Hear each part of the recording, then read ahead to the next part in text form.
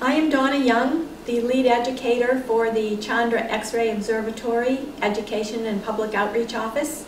And this presentation is an overview of the Chandra mission, uh, the results and scientific discoveries over the last 15 years. As you can see, we are proudly celebrating our 15th year of a very successful mission.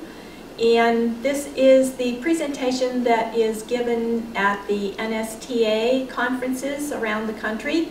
And as several of you have indicated you would like to see this posted online, uh, that is what uh, we are doing. So you can expect one of these um, every year. We, it will be changed as, as, as it is updated with new uh, observations and discoveries and posted on the Chandra website under the educational materials. And we are expecting and hoping to have several more years as the observatory is still functioning very, very well and still uh, producing uh, an enormous amount of really exciting and interesting science. So we're hoping for many, many more years to come. This is a graphic which shows the Chandra X-ray Observatory. It has all the usual components one would expect to have.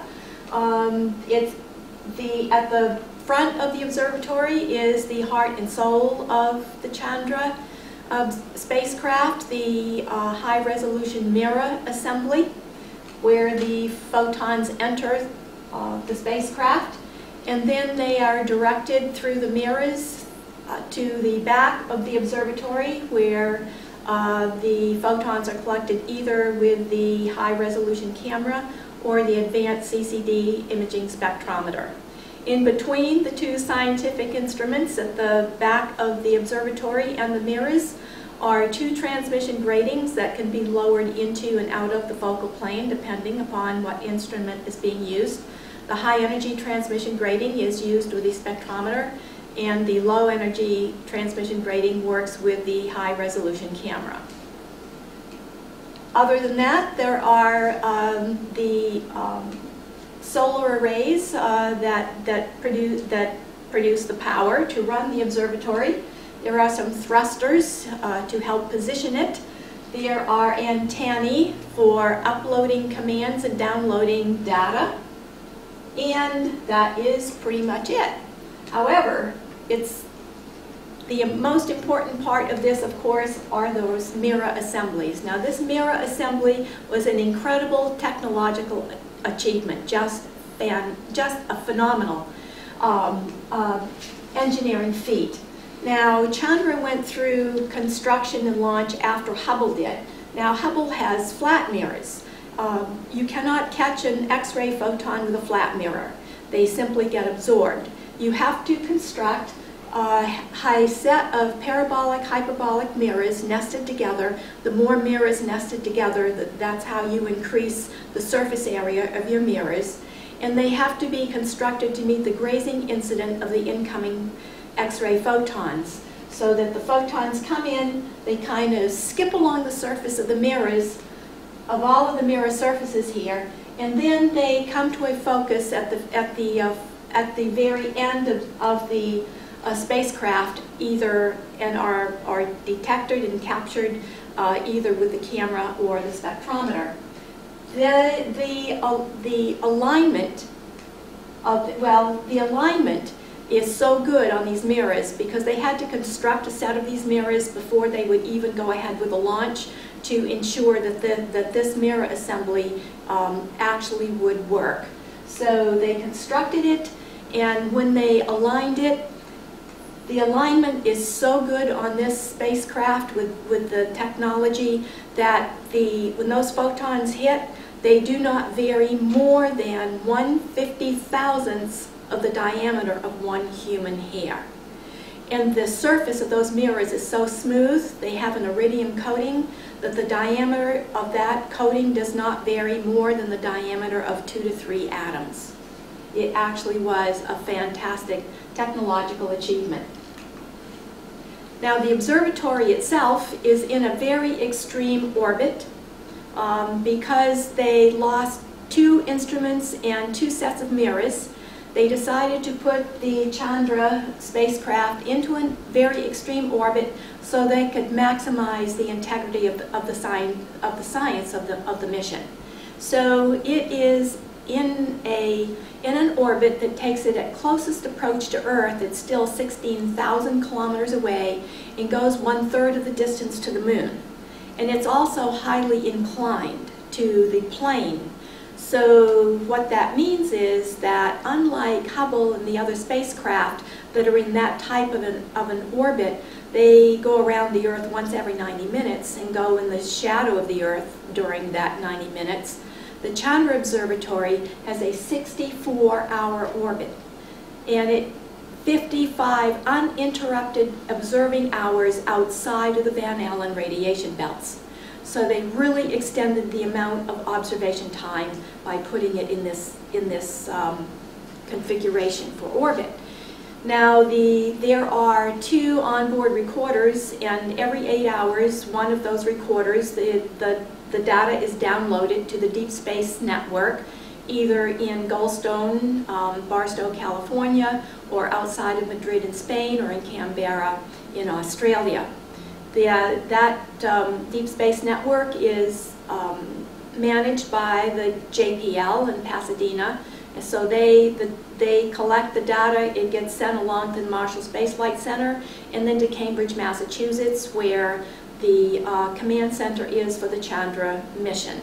So that's where the data comes in for the X-ray scientists, and that's where the commands go up to the observatory from the Draper Building on the MIT campus in Kendall Square in Cambridge. Now, one would expect that um, an X-ray observatory collecting X-ray photons is going to be imaging the really exotic, catastrophic, high energy, high temperature, millions of degrees uh, phenomena that are ongoing in the universe. So you would expect things like colliding galaxies, interacting galaxies, exploding stars, collapsing stars, black holes, neutron stars, pulsars, and all those kinds of things to be uh, the kinds of observational objects, deep sky objects that Chandra is going to be observing. The surprise, though, is also that at the beginning of the process of stellar evolution, there's also a huge amount of X-ray energy being produced by protostars. Uh, this graphic represents stellar evolution, the different pathways of different mass stars uh, from formation to destruction. And depending upon the mass, uh, the mass depend, depending upon uh, the mass of the initial uh, progenitor stars, that's going to determine what's going to happen to the star over its, its evolutionary history until it ends up in, in the end products with stellar cores and supernova remnants.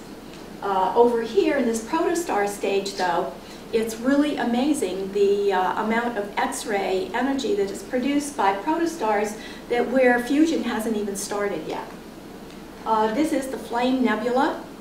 Uh, it is a beautiful star formation nebula complex uh, with a lot of stars forming here, these small purplish. All of those are, are young stars that are forming in that nebula. Uh, this is the Orion Nebula, and that's also a massive star formation complex. And those are being studied uh, because it has been observed that if you have a star formation area, you have different mass stars being formed um, all throughout the nebula. So you have a uniform distribution of older stars, middle-aged stars, newer stars, all young stars, but some of them older as new ones keep forming all the time. It's been noticed that, that towards the edges of these nebula, that all of the stars are older stars. It's not known if um, these the older stars are there because they've been uh, they formed longer than the younger ones, and so they, due to gravitational slingshot effect, just kind of drifted and been uh, slung kind of away from the center, and so that's why they were all on the outside. Maybe um, new star formation only takes place in the center. Um, maybe there are cooling filaments of gas that are, that are infalling towards the center of the nebula, and that's producing uh, new star formation. So this is one area where there's a lot of research being done right now as to how these stars form um, where they form within the nebula. This is the Orion Nebula, and which is within the constellation of Orion. And as you get further and further and further into uh, the uh, Orion Nebula, you come to the trapezium. These are Hubble images. Uh, you get to the trapezium where the massive star formation is taking place. A lot of star formation is taking place in the trapezium. And this is an X-ray image of the trapezium.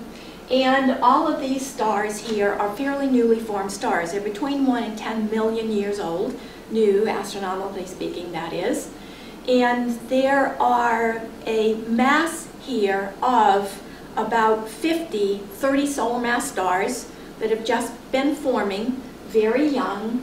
And when you do a 12-day observation of this area and you look at these stars, you can see all of this flaring going on. Well, these are young, massive stars putting out all kinds of X-ray radiation. Hydrogen fusion hasn't started yet. These are too young for that. These are protostars. If our sun was was that far away, we wouldn't even see any flares from, from it because these things are flaring 10,000 and more times more energetic than, than our sun ever has done.